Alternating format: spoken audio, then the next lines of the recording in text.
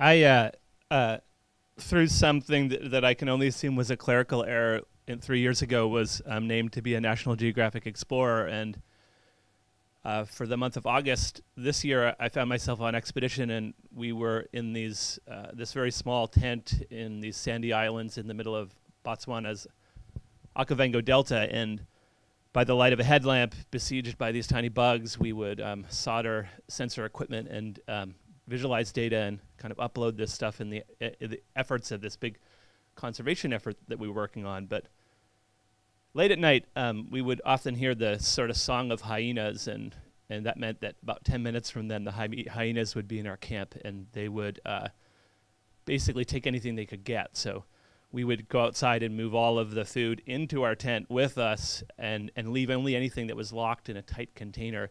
And then for the next hour, we would listen to them rummaging around, and hopefully that we hadn't forgotten anything.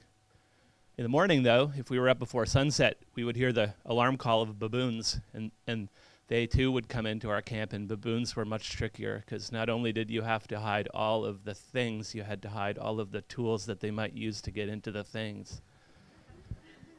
tools are dangerous and also um, powerful, and uh, it's interesting to me that when we think about tools, I think we mostly think about this. This is um, my hammer. It's a nice hammer.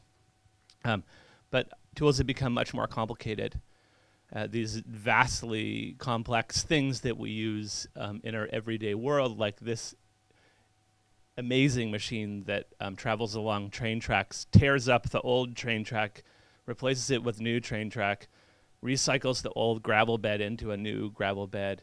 Um, that that we kind of only only really conceive of the complexity of this thing. And one of the things I want to talk about in our tool making group is this kind of axis of tools between the hammer and the giant track laying machine and where we're facilitating tools to be built because I think in software we tend to focus mostly on the giant track laying machine side of things and, and not so much towards um, towards hammers and so I, I, I specifically want to talk in our group about what does it mean to create medium sized tools.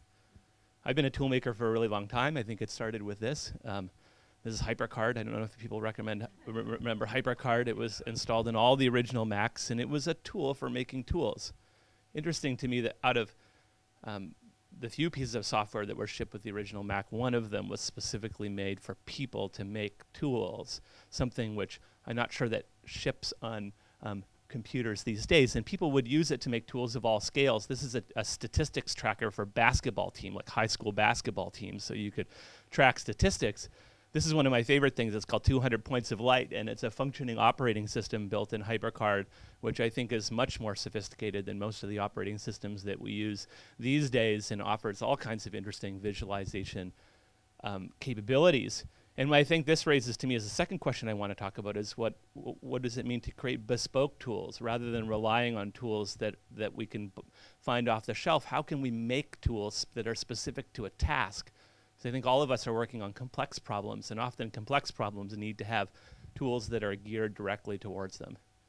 And then the last question I want to talk about is related to the baboons, right? Baboons are tool makers and tool users, and not not like not like the tool making baboon in the troop. Like you don't go to the tool maker. Every baboon in the troop is a tool maker. And yet I think what we've done with technology is we've created an incredible amount of barriers to tool making we've in some ways dehumanized ourselves. One of the defining characteristics of being a human is that we can make and use tools. And yet, I think we're raising a society which mostly cannot do at least one of those things make tools, and in some cases can't even use them. So, how can we remove barriers to tool making? Institutional barriers, cultural barriers, to make sure that um, not just the elite are able to make tools, the technologically elite, but everybody is able to use tools. So, um, I hope everybody in the tool making section is going to come with all kinds of questions of their own. We're going to have um, a, a, long and, and lunch-filled dialogue around these things. And if you're not in that section and you want to talk about this stuff, um, get in touch.